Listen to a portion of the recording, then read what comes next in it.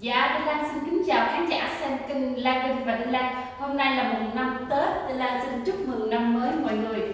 À, Mấy ngày qua đó thì à, mùng 1 Tết cha, mùng 2 Tết chú, mùng 3 Tết thầy. Cho nên là Đinh Lan đại kỵ trong vấn đề mà à, nhắn tin và nhận những cuộc gọi. Cho nên Đinh Lan off máy trong từ đêm 29 Tết từ lúc mà đón giao thừa cho đến à, hôm nay mới mở lại. Thì rất rất là nhiều những cái tin nhắn chúc mừng năm mới của rất là nhiều người à, gửi trên hai Zalo của Đinh Lan là 0976 863 368 và 093 8805 Đinh Lan cảm ơn mọi người. Đinh Lan xin chúc mừng năm mới mọi người. Um, may mắn năm nay thì à, ba ngày Tết thì à, ba mẹ con Đinh Lan ở trong nhà ăn Tết yên ổn vui vẻ. À, chỉ có ba mẹ con thôi. À, vì hai đứa con trai à, hai đứa con lớn con trai và con gái thì ở với cha. Và chúng tôi ly hôn được uh, nhiều năm. Cho nên là hai đứa nhỏ thì ở với Đinh Lan. Cuộc sống bình an như vậy. À, ngày Tết không nợ nần không bất cứ một điều gì với ai cả. Còn những cái youtuber à, hôm mà 20 tháng 1 à, Đinh Lan lên công an tỉnh Bình Dương theo lời à, chịu à, giấy mà mời giấy mời nha. Lên cho cái vụ mà tố cáo bà Nguyễn Phương Hằng cùng với sáu cái người à, mà báo chí đã đưa tin rồi á là nhà báo Đức Hiển, nhà báo Hằng Ni, Đinh Thị Lan, Huỳnh Minh Hưng là ca sĩ Đàm Vĩnh Hưng, Thủy Tiên và Công Vinh. Đó sáu người chúng tôi là trong cái vụ mà um, tố cáo và yêu cầu khởi tố uh, tố giác tội phạm Nguyễn Phương Hằng uh, đã vu khống và làm nhục người khác và vi phạm những cái quy định của pháp luật về luật hình sự.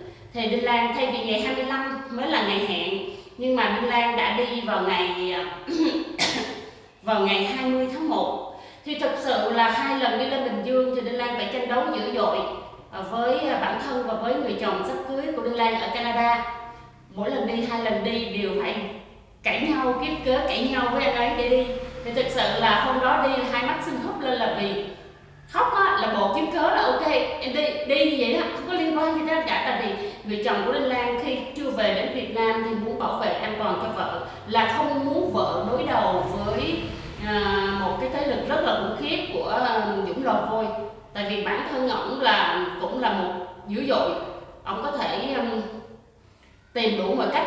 Vợ chồng ổng bảo là kinh khủng tận cho nên là um, bây giờ đã đến tận cùng như vậy thì họ sẽ dùng cái mua hàng cái bẩn để mà hãm hại trong khi chồng của Đinh Lan ở xa không có thể ở bên cạnh vợ để bảo vệ cho vợ. Nhưng mà Đinh Lan kiếm cớ gây rồi đi cho nên hôm đó à, Sơn Sàm á, lên nói là à, Đinh Lan cắt mắt bị ờ, bị bị lé bị lệch gì đó.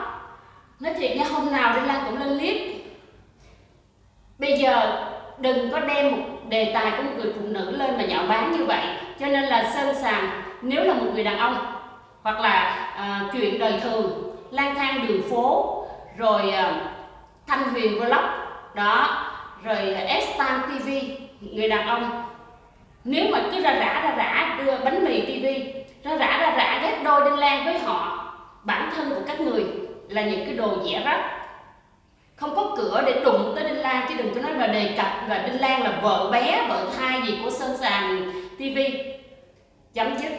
Còn nếu như ngon, đối diện trực diện với nhau nè, nha đối diện trực diện với nhau, tôi sẽ mở những cái clip mà các em bôi nhọ làm nhục tôi. Tôi hỏi tội các em, nha, đầu năm mới, xem lại mọi người comment lên là coi sơn sàm nó nói về đinh lan quá tệ, thì mới coi. Không có cửa đâu sơn sàm, nha. Sống làm youtube dơ.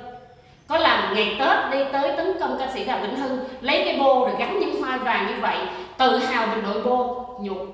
Nha, tôi là đinh thị lan nhà ở 140 trên 22 đường Lê Đức Thọ, phường 6, quận Gò Vấp, thành phố Hồ Chí Minh, Việt Nam. Hai số điện thoại Zalo của tôi 0976 863 368 và 093 120 8805.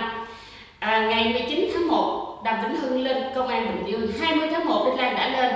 Cho nên ngày 24 tháng 1 đã có giấy triệu tập bà Nguyễn Phương Hằng ngày 9 tháng 2 buộc phải đến công an tỉnh Bình Dương theo giấy triệu tập lần 1. Ngày 9 tháng 2 còn 4 ngày nữa hẹn bà con sẽ có phim hay diễn ra cho Nguyễn Phương Hằng đó là lý do tại sao bà ấy lại điên cuồng chống phá nhà nước mình như vậy.